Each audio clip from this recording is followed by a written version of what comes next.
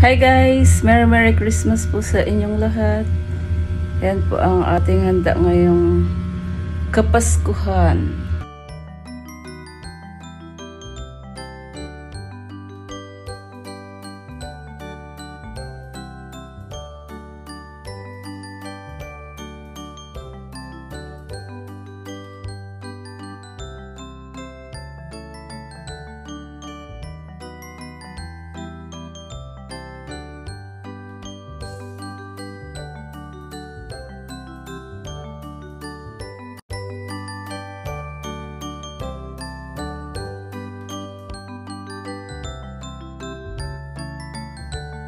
Merry Merry Christmas po sa inyong lahat. Tikman nga natin guys yung aking niluto sa air fryer na chicken. Ayan po isang buo.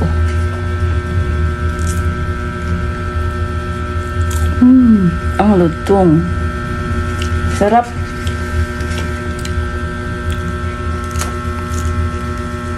Mmm.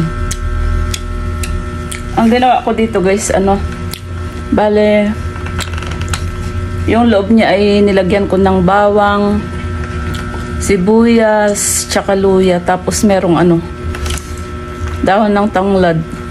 Naglagay ako ng asin, tsaka yung pangpalasa, tsaka pamenta. Tapos nilaga ko po muna.